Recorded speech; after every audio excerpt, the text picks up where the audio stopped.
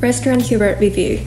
This is a French restaurant in Sydney City. This place is my favorite French restaurant in Sydney, especially perfect for date night. They play live jazz every day of the week in the dining room.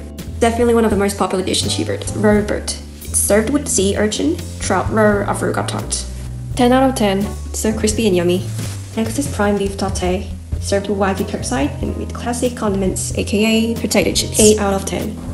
Next one's dog parfait. Honestly, this is my favorite parfait in Sydney. 10 out of 10. It's heavenly tasty. Definitely gonna try again next time. We also got it with Hubert baguette. The butter that comes with the baguette was so good. If you spread the parfait On the baguette, it's just fantastic, so please make sure to order it together.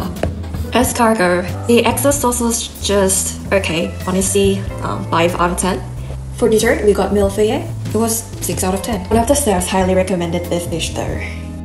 It's got peaches inside. That was nice. Overall, 8 out of 10.